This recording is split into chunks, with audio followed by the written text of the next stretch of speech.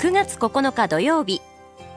日本放送 OK コージーアップ週末増刊号。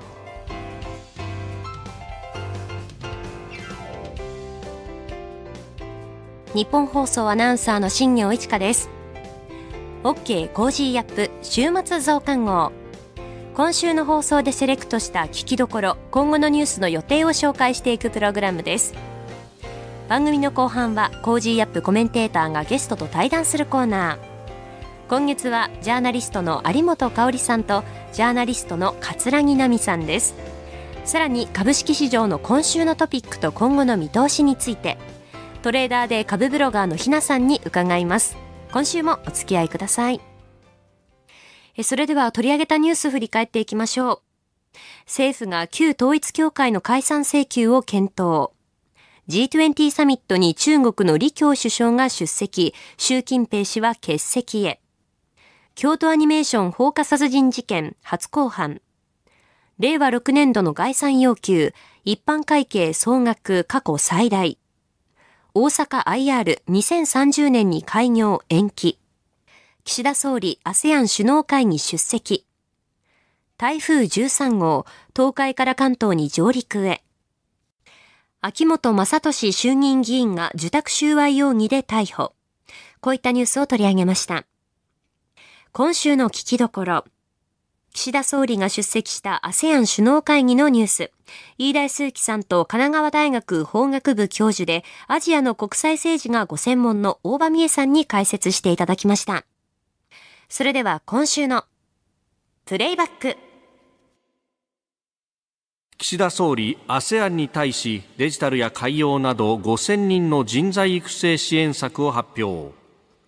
ASEAN 東南アジア諸国連合の首脳会議などでインドネシアのジャカルタを訪問している岸田総理大臣は ASEAN に対し今後3年の間にデジタルや海洋などの分野で5000人の人材を育成するなどとした支援策日 ASEAN 包括的連結性イニシアティブを発表しました。具体的には従来の交通インフラだけでなくデジタルや海洋協力サプライチェーンなど6つの分野でも協力関係を強化していくとのことです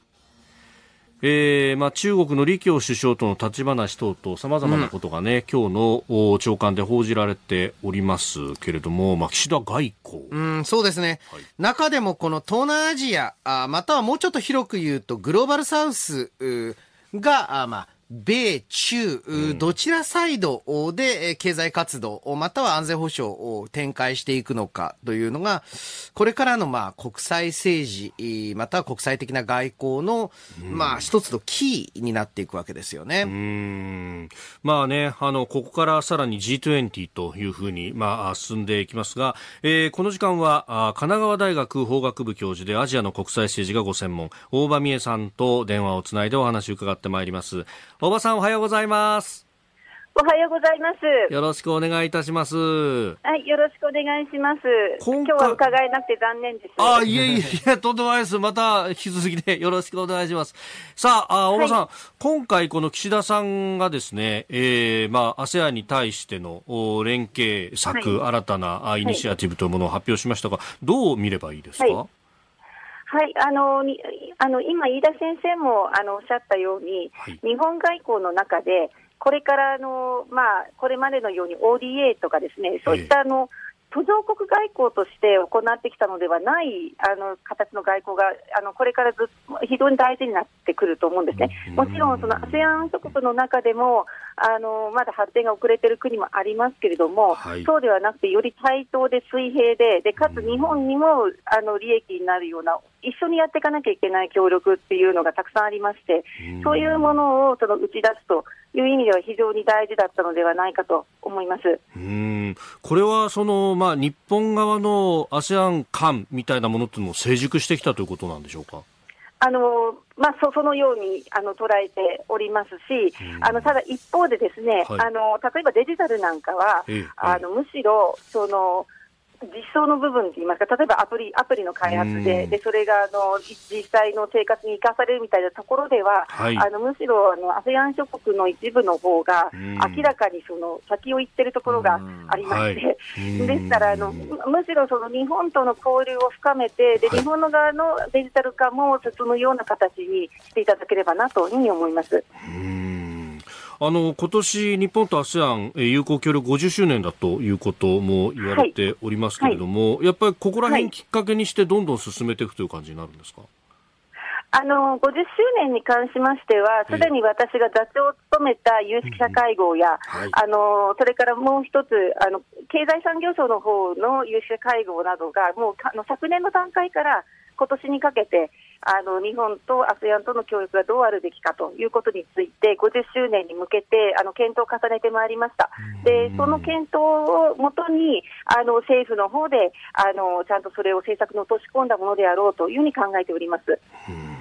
えー、スタジオにはあ飯田康之さんもいらっしゃいます。よろしくお願いいたします、はい、よろしくお願いします一方で、えー、やはり ASEAN の外交上の、まあ、位置づけ、えー、としては、やはりあの、これまで華々しく成長してきた中国経済と、まあ、リンクを強めていく、そういった中で ASEAN、経済発展を続けていったわけなんですけれども、これからの、まあ、世界経済考えるときに、ASEAN と中国の距離感というのは、どのように、まあ、変わりつつある、または変わらないのか、あお聞かせ願えますでしょうか。はいありがとうございます。あの中国だけではなくてですね、ASEAN があのまあ発展したのは。あの中国も含めたグローバル化が展開する中で、その中でうまくそのあのサプサプライチェーン網に食い込むことができた。それがやっぱり一番大きいわけです。なので、あの今のそのグローバル化のあの後退といいますか、あの経済安全保障の論理があの中国とアメリカから前面に出されることというのは、実はその ASEAN 諸国にとっては、あの少なくとも長期的には望ましいことではなくて、あのそういう意味ではあの、米中対立というのはちょっと彼らにとっては迷惑な話ですね。ただ迷惑な一方で、あの経済的にはあの一部で言われているような中国が一方的に何かの、まあ、あの権益を主張しているとか、あるいはあの経済的なあの活動をあのプッシュしているとかいうことではなくて、あの ASEAN 諸国の側が取引の中で中国を選ぶ、あるいは場合によっては日本を選ぶ、あるいは欧米の企業を選ぶということをやってきていて、そういう中で、その結果として中国と ASEAN 諸国との経済的な距離感は少なくとも非常に密になっているという考えますし、それが急に変わるとはちょっと思いません。であの一方でその中国に関連してあの中国が出してきた新しい地図が、まあ、あれは、ええええ、あれは悪手ですよね。あやっぱりそうですか。あれはちょっと悪手。呆れましたね。呆れました ちょっと呆れました。あのなんというタイミングで、何をやってるんだろうと思います。ででもこれがですね大国外交といいますか、あの国際政治見るときに、はい、どうしても例えば米米中対立中心に見て、で中国がこうした、で ASEAN あごめんなさいあの、アメリカがこうした、だから ASEAN はどうするんだって話になるんだけど、はい、あのそれが前提として、暗黙の前提として、大国がやっぱり完璧な手を打ってくるっていうことを皆さん想定してるんですよね。で、それで日本の中では特にアメリカは下手を打つかもしれないけど、はい、中国は完璧だろうと思っている人が結構多いんですけど、いや、そんなことはなくて、これあ、明らかに国内論理から出てると思うんですよね。今やっぱりあの経済も悪くて、はい、やっぱりあの国内の引き締めをするときに、こういうナショナリズムに訴えるっていうことが非常に有効なんだろうと思うんですよ。でもそれは外交というよりは完全にその国内論理でこういろいろやってるので、例えばこれを大事な会議が続くこの時期にどんどんやってしまうっていうのは、うんはい、やっぱりもうかなりな悪手だろうと、相手見てないなっていう感じですね。まあ、台湾のと与那国の境界線にも線を引っ張って、これは俺らのものだって言うし、こう、インドとの係争のところも俺らのものだと、はい、あるいは、あの、薄利、薄利島も俺らのものだと言っていると。だから、これ、こういうことを、こう、ある意味、領土的野心を目いっぱいに出すような地図を8月28日に出してきたと。もう、本当そうですよ、これからね、ええそうですよ、もうあの目白押しなんですよ、これから ASEAN の諸会議があり、はい EAS があって、ええで、それから G20 があり、それから APEC があるんですよ。ああ、もうはい。ずっとこれから会議シーズンなんですね、ここ、うんあのアジア。うん11いや月のそ APEC いわゆるグローバルサウスを、ええあの入れた国々で。はい。でなぜ、なぜこう今やるのかっていうのは、うんもう本当あの、外交を見てないとしか言いようがないですよね、それはね。いや、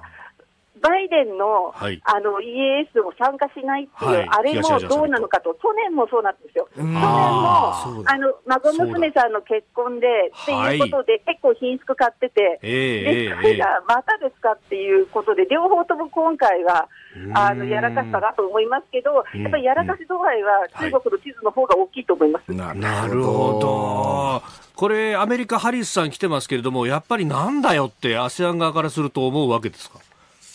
あやっぱりそうです、あのそれはやっぱりあの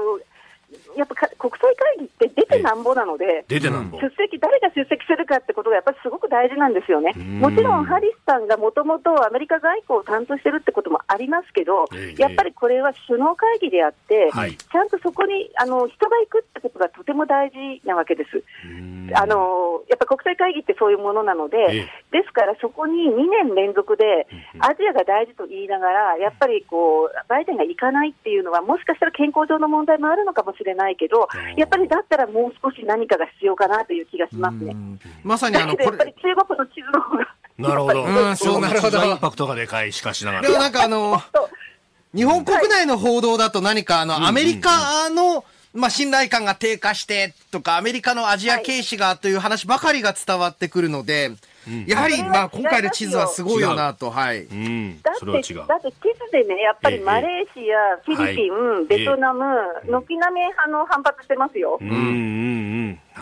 うん、もうそれは。それはもう、はい、インパクトはもちろん台湾もそうですけど、あのいや、やっぱ今回のはタイミング的に最悪で、でやっぱりそれからインドも反発し、ではい。それであのそれ、どういう理由か知らないけど、習近平は G20 行かないっていうああ、そうですね。でそうなんですよ、で G20 行かないっていうのを、またバイデンが、うん。あのがっかりしたとか言うんだけど、はい。それはお前が言うなっていう、そういう話。なるほど。この後はこれからの1週間のニュースの予定と来週のコメンテーターをご紹介します。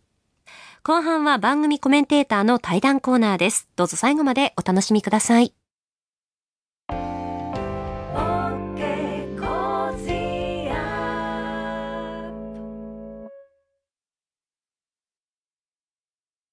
自分よし、相手よし、第三者よし。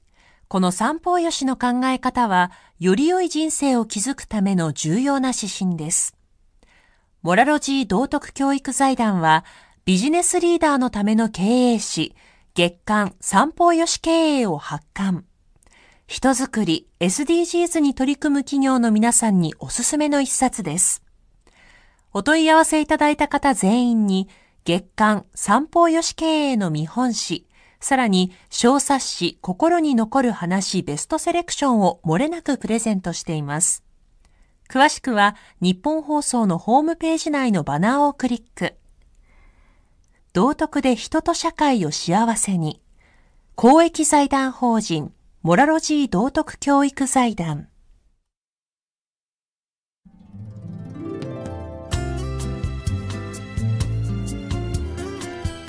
OK Cozy up 週末増刊号。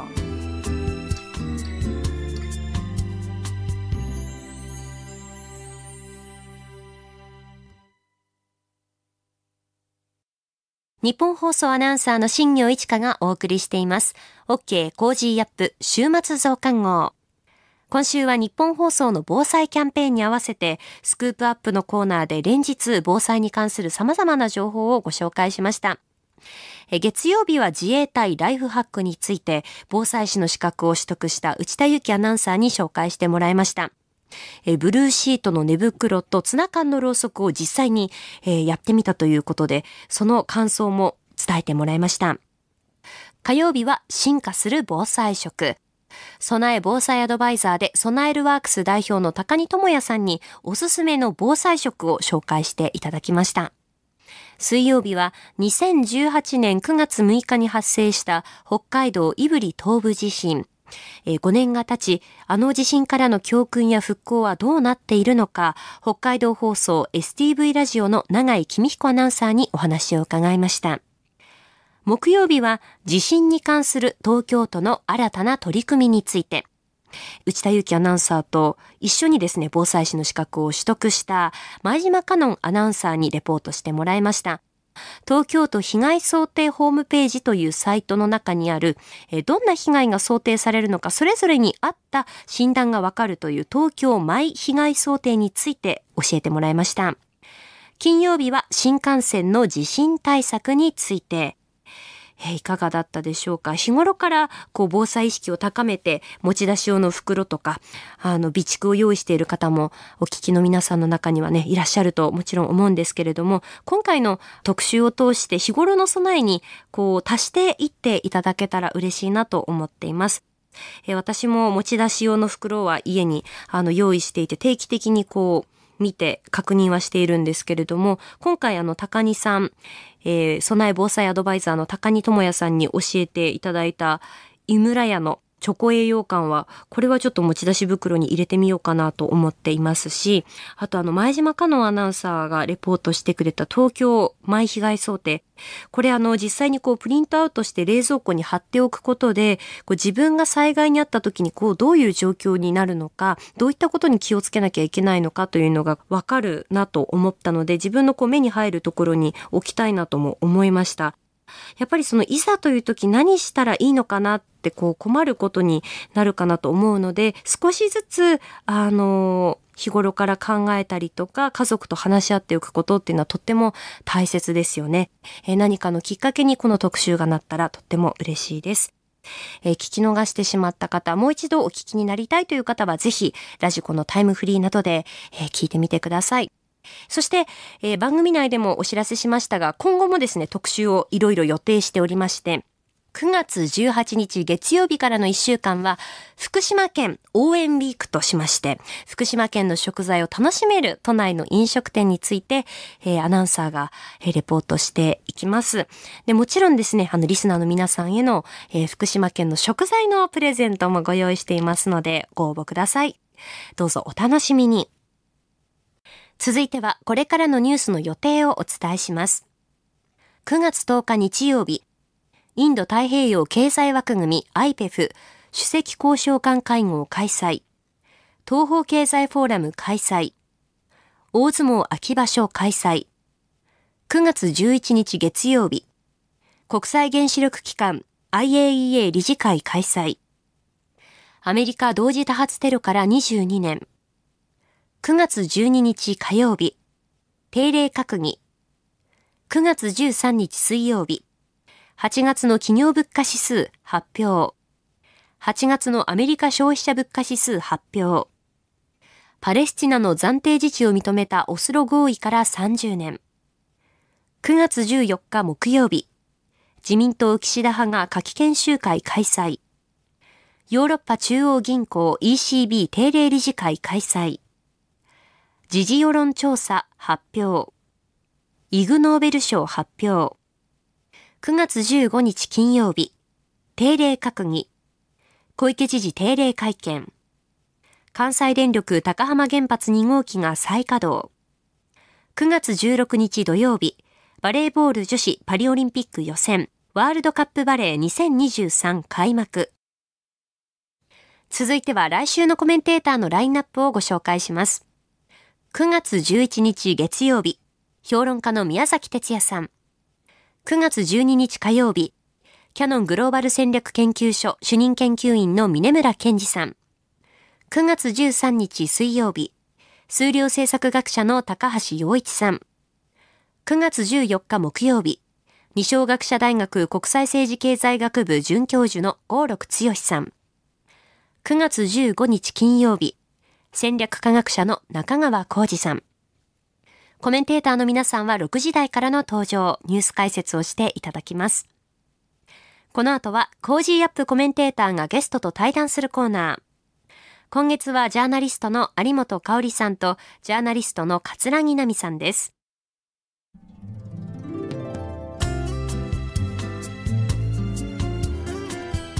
OK Cozy up 週末増刊号。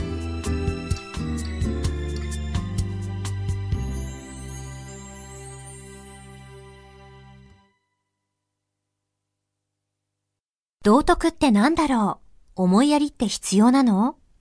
その答えは道徳を考える月刊誌ニューモラルにあります。今や日本人の道徳力は世界からも大注目。さああなたも道徳を学びませんか？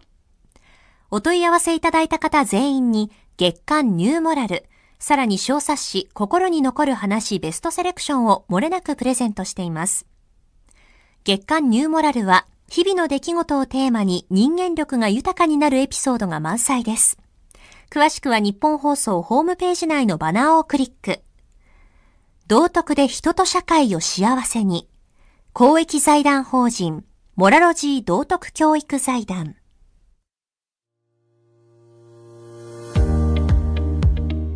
ジャーナリストの有本香里です。この配信は日本や世界を取り巻く様々な課題を掘り下げる対談番組。今回のお相手はモラロジー道徳教育財団令和専攻塾講師でジャーナリストの桂木奈美さんです。よろしくお願いします。よろしくお願いいたします。桂木さんは安全保障あるいは自然環境の問題などを中心に様々な取材、えー、活動をされていますけどこれまでに15回尖閣諸島の周辺の海域に渡航されてます、はい、これどのような経緯で渡航することになったんでしょうか？はい、えー、やはりですね平成22年の9月7日に起きた尖閣漁船衝突事件というのは大変衝撃的でした。はい、で私にとって何より衝撃的だったのは中国の漁船が海保の巡視船にドカンと体当たりしたこともさることながら、うん、それ以上にその後国が取った対応だったんですね。すね。あれはショックでしたね。うん、あの時、まあ、現場では揺れる海の上で船から船に海上保安官が飛び移って命がけで中国人の船長以下乗組員全員を捕まえてくれたわけじゃないですか。はいえーえー国の尊厳を守るための命がけの崇高な行為だったと言っても過言ではないと思うんですけれども、はいよりによってその行為を国自身が土足で踏みにじるような対応をしてくれたなと。まあ、まず隠蔽しましたからね。ねそうですよね。えー、隠蔽した上に結局捕まってた後も処分保留で釈放ということになって、ね。はい、特に船長に至っては普段空いていない石垣島の、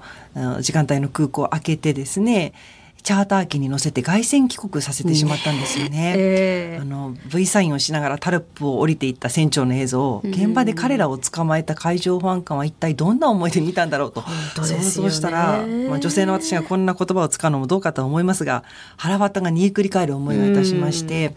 でもこれが戦後体制の象徴なんじゃないかなと思ったんですね。前回もありましたように戦うことを忘れたというか忌避するようになった戦後体制の集約さがこれほどまで象徴的に現れている事件ってなかなか国民の目の前にさらされることがないんじゃないかと思い、うん、まあ、この事件を私自身が忘れないために、はい、そして国民の皆さんにも忘れてもらわないために、うん、私自身が尖閣に行ってこの目で現状を見てこようと思ったことがきっかけです。なるほど。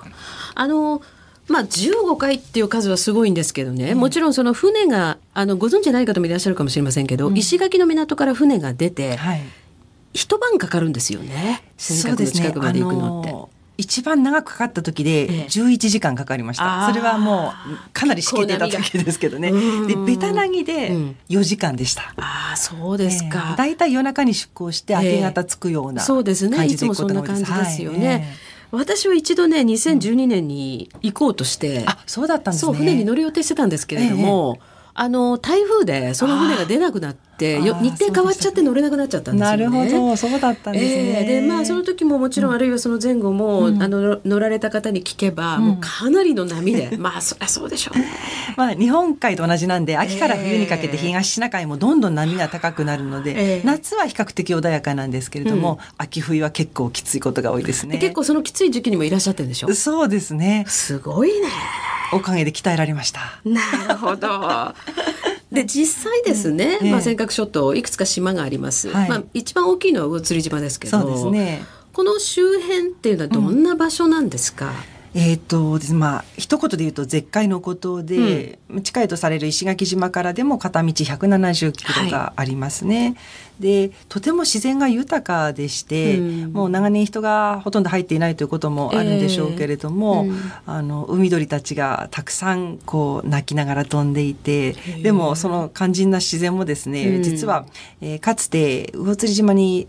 灯台を建ててくれた民間団体があったんですけどもその方々が灯台のメンテナンスのために時々通っておられた、うん、その際に非常時の食料として雌羽一対のヤギを連れて行ったんですね。うんねそれが大繁殖してしまいまして、うん、数百頭というぐらい増えてしまった結果魚釣島の緑を食い荒らしてしまい魚釣島は絶海の孤島なのでそこにしかいない固有種の植物とか、はいうん、まあ、小動物なんかもいるんですけどもそれがどんどん絶滅の危機に瀕しているっていうような状況ですね。なるほどね、はい、私もね一度あの、登山家の野口健さんが尖閣守る会ってやってらっしゃいますよね。守る会というのをね、あの発足されて、その最初の頃にちょっとあのご一緒したことあるんですけど、あとツツジだとか、そうです。いろんなもので固有種があるんですよね。はい、とか、そうなんですよ。そうですよね。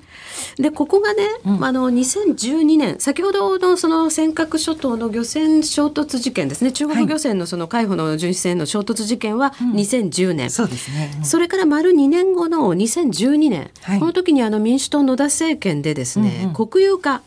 されましたよね。そう尖閣諸島が。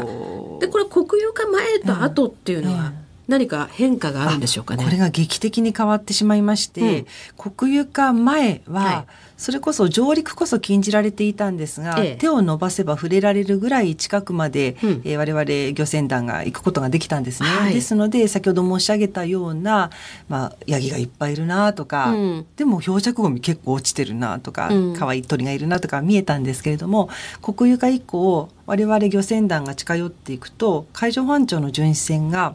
1帰り以内に入らないでくださいっていうふうに当選簿をするようになっちゃったんですよ。で1帰りっていうのは1852メートルなんですけれども、うん、それだけ離れてしまうともちろん渋間は見えていますが、うんうん、詳細は一切分かりませんし、一番困ったのは、私たちが一番お世話になっている海民中沖縄の漁師さんたちは、あの潜り漁をメインにしている方だったんですね。で潜り漁はサンゴ礁の海とか岩礁の海とか、浅いところだから、まあ、ボンベ礁って潜って水中銃で撃つという形でできるものなんですけれども、うん、1回り離れちゃうと海が深すぎてそうでしょうね、ね、もう海底見えないし、えー、潜り漁ができなくなっちゃったんですよ。うん、でも一本釣りとか引き縄はできるんですけれども、うん、まあ、当然ながら釣れる魚の量も質も落ちてしまって、漁師さんたちのモチベーションはどんどん下がっていって。なるほど、ね、でそれと入れ替わるように入ってきたのは中国高専なんですけれども、えーえ。ー、海保はね私たちにはそうやって1回り以内に入るなってやってるにもかかわらず、中国高専は結構入れちゃってるんですよね。あまあ、そこが本当に腹立たしかったし日本のなんか歪んだ姿が象徴されてるなと思いましたね。そうですねでこれ11年前ということですよね。でその11年、はい、まあ、あの例えば2012年からねこの11年間で、中国側はどんどん船を大型化したり。そうです席数を増やしたり、はい、ということで、うん、え特にその島に近づいてくるという行為も、えー、もう今やちょっと常態化してますよね。おっしゃる通りで、うん、で、えー、平成25年ですから8年前にですね、うん、あの目の前ですごく、えー、屈辱的な光景が繰り広げられたんですけれども、はい、いつものように明け方尖閣海域に着いたら、うん。まあ綺麗な朝日が昇ってきて美しい尖閣に帰ってこれたと考えに浸っていたのもつかのも、うん、巡視船から後世が近づいてますから気をつけてくださいっていうふうに連絡が入りまして、うん、でその言葉が終わるか終わらないかというタイミングで大きな大きな中国公船が魚釣島すれすれのところを大きな顔して悠々と入ってきたんですよ。うん、でもそんな状況になっても、えー、その外側で海保は私たち日本漁船を追い出しているっていう状況を一切変えなくて。えー、追い出すのはあっちでしょって思うし、ね、言ってんですけど、えー、全然そっちを見ないで日本人に近寄るなってことばっかり力を注いでるんですよね。でこの状況を第三者が客観的に見たら、うん、どう見ても魚釣島は中国の島にしか見えないっていう状況を、ね、日本国自身が招き込んでいるとか招き入れているということにすごく怒りを覚えましたね。でそういった状況がどんどんエスカレートして、うん、まあ、今ではあの私たちが石垣島から出港すらさせてもらえなくなってしまいそうね、えー、はい、純粋な漁師さんであれば、市帰りまでは行って漁ができるんですけれども我々民間人はあの一緒に行ってはならんというふうに言われてしまいましてで日本の目が届かなくなっているのとは対照的に中国高専はどんどん活動の頻度も増えているし、うん、大型化もしているし、うん、事実上どんどん中国の実効支配の度が、まあ、サラミをスライスするように、少しずつではありますけれども、うん、着々と増している強くなっているという現実にありますね。これは結局その中国側のねまあ、本来であれば暴挙ですよね。はい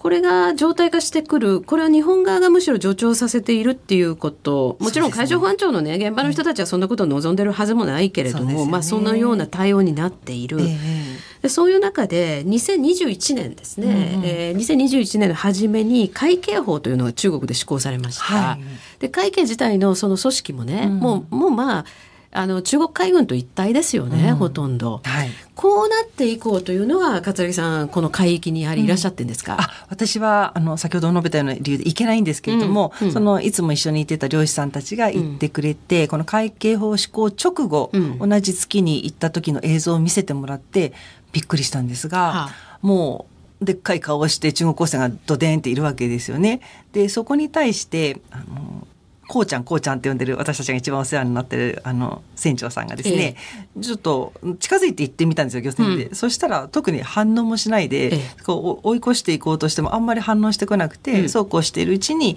海保が間に入ってくれたっていうようなことを言ってましたけれども彼のあの感じたことを、うん、あの総合するとですねなんかもう一緒にいることが海上保安庁と中国高専が一緒にいることが当たり前になっていて、なあなあの関係に見えたっていうんですよね。あれだとあちら側が中国側がいざ牙を向いた時に対応できないんじゃないかって、うん、その映像を見た元海上保安官の石木正治さんも警鐘を鳴らしておられましたね。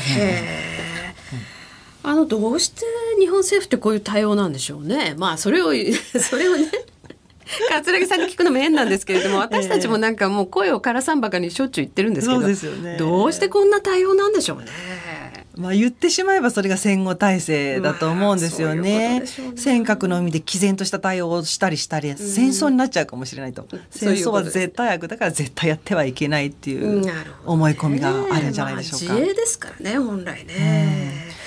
で一方ですね、はい、桂木さんその自然環境あるいは生態系を守る八百万の森、はい。という団体を立ち上げて、まあ、代表を務められてるんですけれどもね、うんうん、先ほどおっしゃったその尖閣諸島にも固有種がいる、うん、あるいは国境離島、まあ、いろんなところがですね、はい、要するに人の手がなかなか入りにくい。うん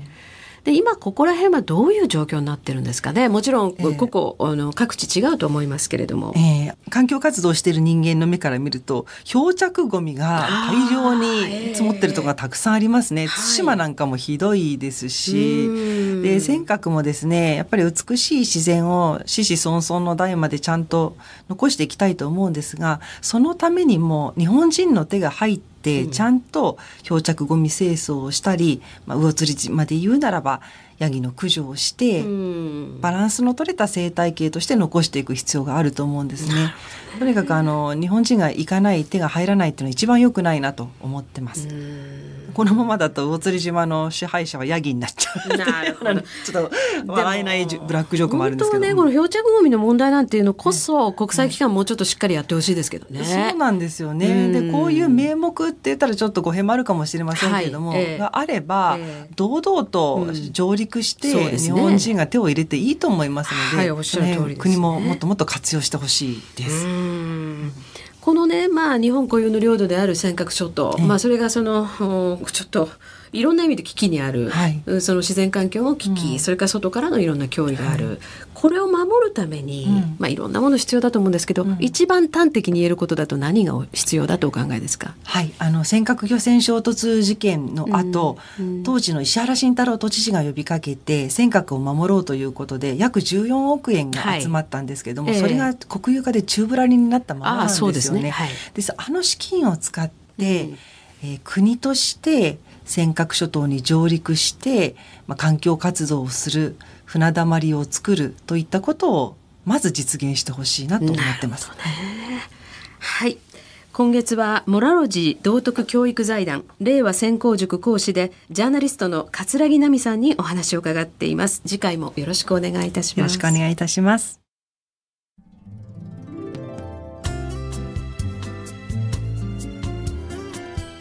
OK Cozy up 週末増刊号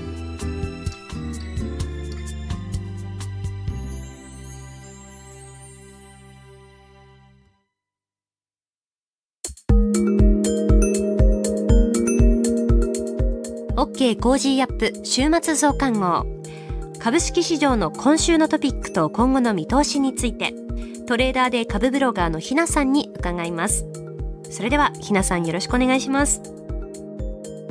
はい、ひなです。今週も個人投資家の視点から今の株式市場をお伝えいたします。今週のトピックは iPhone 関連銘柄下落とアクティブ ETF の上場です。7日、中国が政府職員の iPhone の使用を禁止したと報道がありました。このことからアップルの株は下落となり、日本の iPhone 関連銘柄と呼ばれる村田製作所ですとか TDK、太陽誘電、ミネベア三菱などが揃って大幅に下落となってしまいました。このニュースを受けて日本の銘柄で一番マイナスの影響を受けたのは村田製作所でマイナス4%ほど株価の下落となりました。他に下げがきつかったものでは TDK で3%ほどの下落となっています。今後、iPhone に関するニュースが出た時には、一番にチェックするべき銘柄は村田製作所と覚えておきたいところです。そして今週はアクティブ ETF の初上場がありました。最近株式市場で話題になっているのがアクティブ ETF です。アクティブは積極型と呼ばれて運用会社が独自に選んだ銘柄で構成する ETF になります。アクティブ ETF と対になるのがパッシブ ETF です。パッシブ ETF とは日経平均ですとかトピックスなど既存の指数に連動するような ETF のことを言いますが、これに対してアクティブ ETF はテーマなどを決めてそれに沿った投資対象を選別して作り上げていくという商品になります。東証のアクティブ ETF の説明が書いてあるホームページには今回上場される6銘柄の記載があります。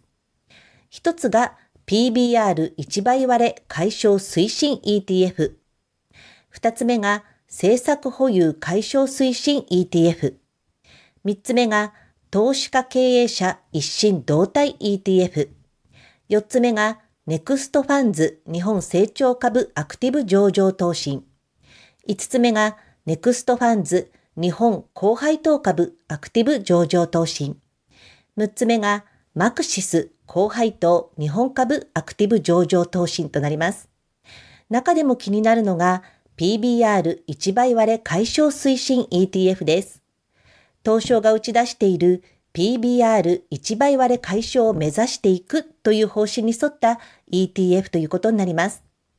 具体的にどのような銘柄に投資していくのかという表記は今は見当たりませんが、PBR1 倍割れを解消ということですから、PBR の低いバリュー株というものに投資していくということは間違いなさそうです。低 PBR の代表的な銘柄としては、三菱 UFJ や三井住友フィナンシャルグループなどのメガバンクの株ですとか、野村ホールディングスや川崎汽船など、時価総額の大きな銘柄でも大量に出てきます。これらのどこまでがその構成銘柄になるのかは不明ですが、今週、低 PBR の代表的な銘柄群が大きく伸びていっていますので、この ETF の蘇生と少しは関係あるのかもという動きになっていました。今後も動きがありましたらお伝えしていきたいと思っています。今後の見通しとしては、海外投資家の日本株買いに注目です。海外投資家の買い越し額が3300億円超えと2ヶ月半ぶりの大きさとなっています。日本の輸出関連企業にとっては足元の円安進行はとても有利な状況です。このことから企業の業績上振れに期待した買いが入っているようです。まだ円安の恩恵は業績面に反映されていませんので、今後の投資対象としてなお物色が強まりそうです。海外勢の買いの動きはまだ序盤という声もありますので、私たち国内の投資家も割安で放置されている銘柄を見直す良い機会かなと思います。今週の相場格言。もうちょっとと思う心がチャンスを逃す。もうちょっと安くなってから買いたいな。もうちょっと高くなってから売りたいな。と少しでも欲を書くと絶好の買い時、売り時を逃してしまうという教えです。少しでも利益を出したいという人の欲はキリがなく、腹八分目は医者いらずという言葉もありますので、私はいつも身の丈に合った投資をしようと心がけています。欲張る心がチャンスを逃すということは念頭に置いておきたいですね。以上、ひながお伝えしました。トレーダーで株ブロガーのひなさんに株式市場の今週のトピックと今後の見通しについて伺いました。ひなの株ブログではおすすめの銘柄、株の話や投資情報など発信しています。ぜひこちらもチェックしてみてください。あなたと一緒に作るニュース番組、ニッポン放送飯田浩司の OK Cozy up。平日月曜日から金曜日朝6時から8時までの生放送でお届けしています。ぜひ FM 放送、AM 放送はもちろん、ラジコやラジコのタイムフリーでもお楽しみください。OK コージーアップ週末増刊号。ここまでのお相手は日本放送アナウンサーの新業一華でした。